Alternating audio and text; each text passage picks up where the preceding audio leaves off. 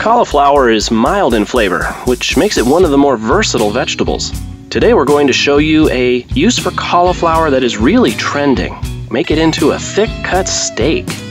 Although there are several varieties, including green and purple, they taste the same as the ever familiar white variety, mild, sweet, and slightly nutty. Interestingly though, the green variety is known as broccoflower. Here we used fresh grated turmeric, which has a subtle, complex flavor, but can be hard to find in grocery stores. Powdered turmeric would work just as well. Generously coat both sides of the steak and allow them to marinate.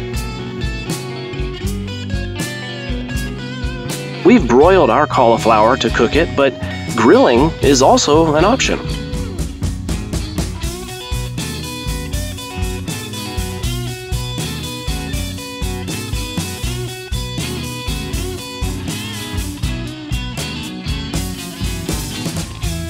The fresh herbs are a nice contrast to the creamy white sauce we use to garnish our steaks.